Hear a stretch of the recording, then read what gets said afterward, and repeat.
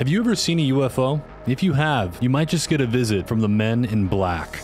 In 1947, Harold Dahl saw six flying saucers just off Maury Island in Washington. A few days later, he was sipping coffee in a cafe when a man in black sat down at his table and smiled at him. Harold publicly retracted his UFO story and claimed it was all a hoax shortly after. This was the first known encounter with the men in black. They're described as deathly pale, abnormally tall, and appearing almost identical to each other. They speak in a strange way with almost hostile politeness. They're also completely hairless. They don't even have eyebrows. Their eyes are often described as hypnotic and having colors too strange to be natural. Another unsettling detail they never blink, even during extremely long conversations, not even once. Who are they? Are they government agents? Or something even more sinister?